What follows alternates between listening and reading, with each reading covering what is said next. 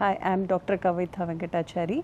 I am taking care of Universal AI Future Technology School in Universal AI University. In our school, we are having BTech in AI ML and BTech in Data Science courses.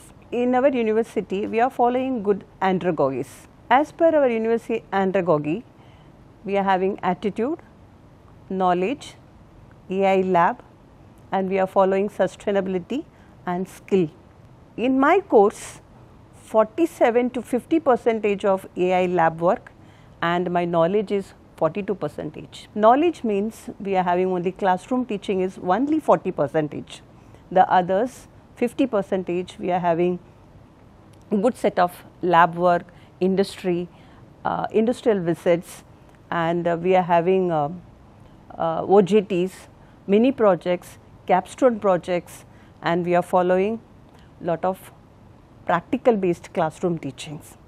In our curriculum, we are giving smart projects, CMAPs, and we are providing a lot of sustainability, responsible AI, Gen AI and its application courses also.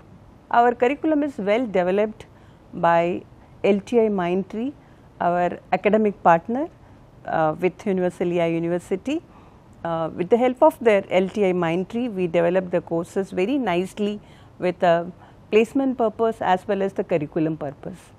I think this course will help you in your future as well as in your academic also. So, I welcome all my kids to my AI school. I welcome you all.